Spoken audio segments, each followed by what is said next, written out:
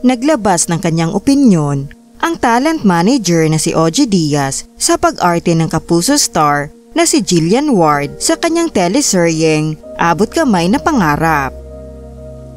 Sa kanyang Twitter account, pinuna ni Oji Diaz ang pag-arte ni Jillian Ward nang minsan siya ay nakapanood ng bagong palabas nito. Panimula ni Oji Diaz ay alam niya umano na magaling umarte ang kapuso star Ngunit parang hindi ito makita ng talent manager matapos niya itong mapanood sandali sa naturang programa. Dagdag pa niya ay tila tinamad umano sa pag-arte ang aktres.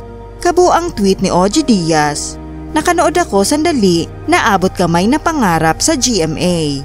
Alam ko, mahusay itong si Jillian Ward umarte. Pero dito sa serye, tamad siyang umarte. Doktor, nurse pa naman ang role walang tensyon sa katawan. Sana, nag-immerse muna sa ospital para naaaral ang karakter.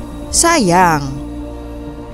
Samantala, sinagot naman ni L.A. Madridejos, direktor ng naturang programa, ang naging komentong ito ni Ojo Diaz. Aniya ay isa ang kanyang masisiguro at iyon ay inara ni Jillian ang kanyang role sa palabas. Kung mayroon man umanong nagkamali, ay maaring sa kanya bilang direktor o iyon ang hinihingi ng eksena. Nagpasalamat din siya sa talent manager sa kanyang naging komento at sinabing tatandaan ito upang mapabuti ang kanilang palabas. Kabuo ang tweet ng Kapuso Director, Sir at Oji Diaz, magandang hapon.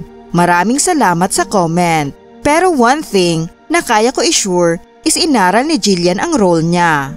Kung may nagkamali po, siguro ay ako or baka yun ang hinihingi ng eksena. Pero we'll keep this in mind po para ma-improve ang show. Salamat po. Umani ng komento ang naging opinyon ni Oji Diaz patungkol sa pag-arte ni Jillian Ward sa kanyang pinagbibidahang palabas. Ani ng ilan sa mga nagkomento. FYI, nag-immerse sila sa hospital para sa role nila. They even watch a live brain surgery As a medical professional, wala akong nakikitang mali sa pag-arte o galaw niya kasi hindi naman kailangan tensyonado ka sa loob ng ospital.